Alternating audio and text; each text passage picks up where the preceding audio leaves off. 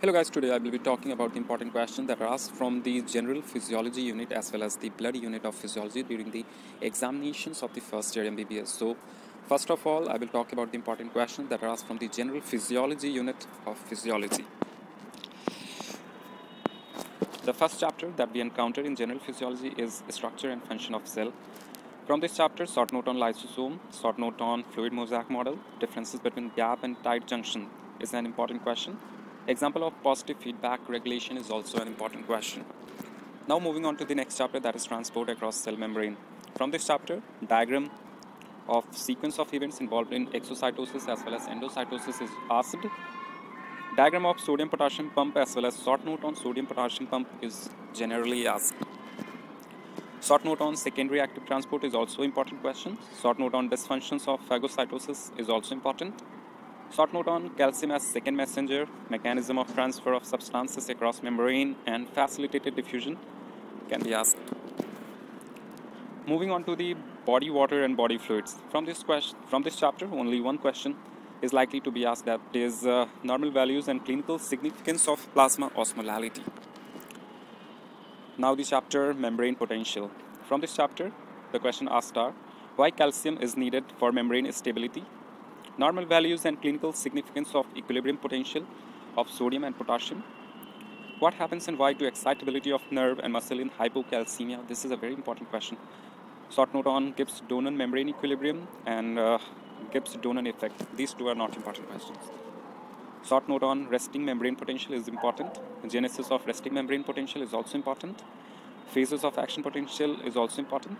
Ionic basis of excitation and conduction in nerve is also important strength duration curve is also important. Define chronaxy and rheobase and the difference between graded and action potential both are important. Now moving on to the unit blood of physiology. The first chapter that we encounter here is composition and functions of blood. From this chapter, generally normal values and clinical significance of the following are asked. Albumin globulin ratio, serum cholesterol, serum creatinine, serum sodium, serum calcium, fasting and postprandial plasma glucose levels is asked. The next chapter is uh, plasma proteins. From this chapter, the questions asked are short note on the functions of plasma protein, not that important. Short note on Starling's forces is very important. Short note on C reactive protein is not that important. Normal values and clinical significance of uh, albumin globulin ratio and the conditions in which it gets reversed is generally asked, and uh, oncotic pressure can also be asked. Now moving on with uh, hemoglobin chapter. From this chapter, short note on oxyhemoglobin curve and uh, factors affecting it forms an important question from this chapter. Short note on fate of hemoglobin is also important. Disadvantages of free hemoglobin is not an important question. Short note on methemoglobin is also not important. What happens and why fetal hemoglobin persists in adult life? This is an important question. If person with sickle cell anemia exposed to hypoxia, this is also important. And uh, use of nitrites for treating cyanide poisoning is also important. Moving on to the erythrocytes chapter. Define erythropoiesis, explain various stages and factors affecting erythropoiesis uh, is very, very important. Etiological and morphological classification of anemia is also very important. Short note on iron deficiency anemia and pernicious anemia is also important. Short note on blood changes at high altitude is also very, very important. What will happen and why? From this part, the blood picture in iron deficiency anemia is usually asked. Folic acid given in pernicious anemia is also an important question. Normal values and clinical significance of MCHC, MCH, ESR is also important. Now moving on to the jaundice and WBC chapter.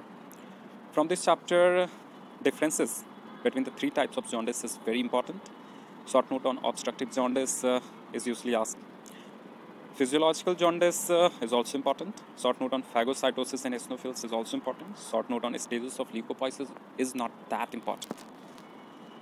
From the platelets and coagulation of blood chapter, various questions framed are.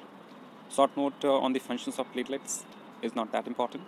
Short note on mechanism of hemostasis is important. Short note on extrinsic and intrinsic uh, mechanism of clotting is important. Questions like what happens and why can be asked on uh, to coagulation in vitamin K deficiency is important. Bleeding and clotting time in hepatocellular disease is also important. Conditions in which uh, platelet count is decreased is also asked. Explain why. Type questions can be asked on calcium deficiency doesn't produce coagulation defects. Is important. Vitamin K given in premature babies is also important. Bleeding tendencies in vitamin C deficiency is also important. Aspirin given in ischemic heart disease is also important. The next chapter is blood groups. This is an important chapter, and uh, usually a lot of questions are asked from this chapter. Like uh, define Landsteiner law, important question. Rh blood group and incompatibility is also important. Blood transfusion and its complication is also important. Changes in stored blood is not that important. Explain why a pre-menopausal Rh negative women should not be given Rh positive blood is also important. Thank you.